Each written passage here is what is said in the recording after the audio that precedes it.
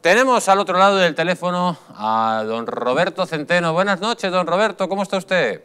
Muy buenas noches. Mm. Pues absolutamente eh, indignado, eh, lleno de ira. Bueno, bueno.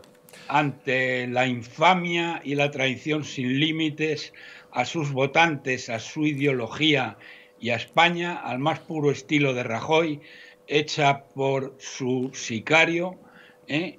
el, el jueves pasado, votando no a las propuestas de Vox y sin ni siquiera mencionar ninguna de estas cosas que le ponen a uno los pelos de punta, ¿eh? Eh, bueno, los pelos de punta no, le ponen a uno de... Mm, bueno, don, Roberto, le voy a recordar una cosa. Usted tiene que acordarse de esa canción que decía sin ira a libertad. O sea, no, no tenga usted ira contra nadie. Eh, bueno. no tenga ira, no tenga ira. Eh, tiene usted mucha razón de lo que está diciendo, pero entre tarde o temprano, si queremos sacar a Sánchez, tenemos que, intentar unirnos todos como sea, aunque es difícil después de lo que se oyó, ¿no? No, bueno, eh, el problema es que se ha producido un retroceso brutal. Yo creo que millones de españoles, millones de españoles eh, se han quedado de piedra viendo a este chiquilicuatre, eh, a, este eh, casado que, bueno, teniendo una ocasión de oro precisamente para poner negro sobre blanco estas cosas que has dicho, porque claro, que los señores de los señores de Podemos que son unos totalitarios bolivarianos, que han sido financiados por los, por los narcoterroristas latinoamericanos y por la BEBAC, que es la Gestapo iraní. Que hablen esta gentuza, estos miserables que quieren traer la dictadura eh, venezolana a España, que hablen de libertad, que hablen, es que no hay por dónde cogerlo. Y claro, eh, los, los, los siempre traidores del PNV, los etarras que han asesinado a 500, a 800 y pico personas, cuyos nombres el jueves pasado leyó eh, Abascal uno por uno, eh, que quieran esta chusma de catalanes que discriminan a los españoles, que no cumplen la ley, que no respetan los derechos humanos, ¿eh? y que este miserable, este cobarde ¿eh? de casado haya olvidado todo eso y no haya mencionado ni una palabra, ni una crítica contra el psicópata malvado de Moncloa, que ha realizado la peor gestión de la pandemia del mundo y la peor gestión económica a nivel de Venezuela, según el Fondo Monetario Internacional, y que todo su discurso haya ido contra Bascal en un tono de odio chulesco, ofensivo, ¿eh? y todo y todo, fíjate, todo acá, bueno, primero el odio, el, miedo, ¿eh?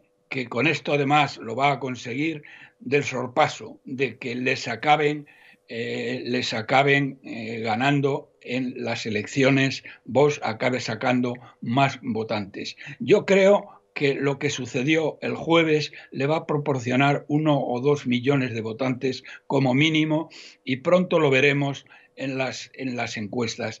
Pero es que este canalla, este canalla, ¿eh? lo ha hecho todo con a cambio de que el señor, eh, el señor Sánchez, que es un mentiroso compulsivo, que no ha dicho una verdad desde que tomó la primera comunión, este miserable, ¿eh? resulta que le ha prometido nada más y nada menos que reconsiderar el Consejo General del Poder Judicial.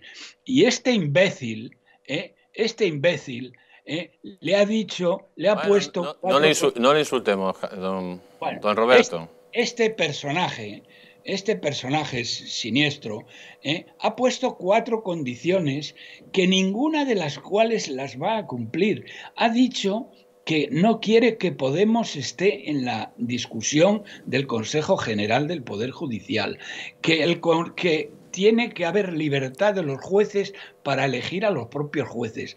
Pero mira, dices que no insulte, pero es que hay que ser tonto. ¿Cómo se puede llegar a creer este, este personajillo, eh, este becario, porque es un becario de, Rajoy y le llevaba la cartera al anterior presidente, Aznar?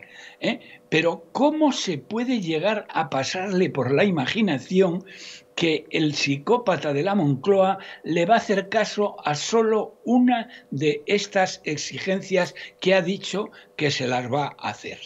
Es que no hay por dónde cogerlo. Yo lo que sí digo es una cosa. Hoy se han dado, mejor dicho, el jueves pasado se dieron un tiro en la barriga. Ha sido asombroso. Ha sido, han hecho, ha hecho una brutal caricatura de Vox y sobre todo de sus votantes. Y yo soy votante de Vox.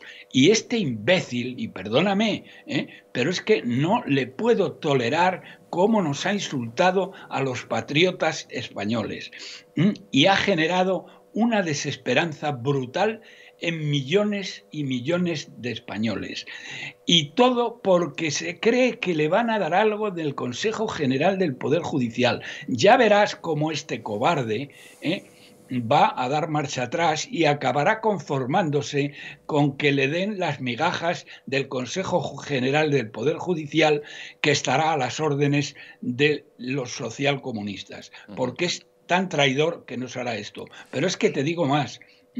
Cuando esto suceda, cuando esto suceda, casado, cuando te den las migajas del Consejo General del Poder Judicial y las cuatro condiciones que ha puesto se la pasen por el forro ¿eh? o, se, les dé un ataque de risa, ¿eh? ¿qué vas a hacer? Vas a presentar la división. Y te digo más, en el tema Madrid, donde van a traicionar al PP y van a traicionar a Isabel Díaz Ayuso eh, a través de el traidor Aguado y de la traidora Arrimadas, eh, mm, esto les ha dado unas semanas, no sé si unos meses, pero no mucho más de vida. Cuando el psicópata de la Moncloa eh, chasque los dedos, la miserable arrimadas que hay que ver en lo que se ha convertido esta mujer enloquecida completamente a las órdenes del Club Baidever. ¿eh? Claro que eh, que el Club sí, que estuvo, por cierto, con Casado, ¿eh? estuvo con Casado recibiendo instrucciones de lo que tenían que hacer. Bien, cuando en Madrid hagan una moción de censura y echen al PP y se ponga aguado de eh, número uno con todos los comunistas y toda la chusma izquierdista, ¿qué va a hacer Casado? ¿Qué va a hacer Casado? Pues... ¿Qué vas a hacer Casado? ¿Vas a dimitir o no vas a dimitir? Casado tiene, con esto se ha jugado eh, la estancia ahí. Eh, porque si fracasa y fracasará con el Consejo General del Poder Judicial, que después de haber puesto cuatro condiciones sine qua non, ya verás tú, ya verás tú, Jesús, cómo luego las van, eh, se van bajando de estas condiciones. Y al final se conforman con las migajas. Pero lo de Madrid, eso a lo mejor lo pueden disimular algo pero lo de Madrid no lo van a poder disimular y antes o después os van a quitar, aunque ahora les darás unas semanas de gracia, eh, dado el favor que te han hecho. Pues, eh, don Roberto, la verdad que eh, me da pena, me da pena porque creo que tengo afecto personal por el presidente del Partido Popular. Creo que el centro derecha tiene que unirse para echar a Pedro Sánchez y lógicamente me da muchísima pena todo lo que está sucediendo. Pero sabe usted que nosotros formamos parte de la resistencia y la resistencia nunca se rinde aunque haya personas, aunque haya personas que se tiran tigros en la barriga, como usted dice. Don Roberto, le tengo que despedir porque nos vamos a... Es una cosa. Pero muy rápido, muy rápido. La única forma de echar a este psicópata es cuando España suspenda pagos y nos tenga que intervenir la Unión Europea. Entonces será el momento. Bueno, pues eso sería el apocalipsis total. Esperemos que España no suspenda pagos y echemos antes al psicópata, como dice usted. Don Roberto, eh, líder de la resistencia, un fuerte abrazo, cuídese usted mucho y pronto le vemos por aquí. Muy bien, un abrazo a todos. Hasta luego.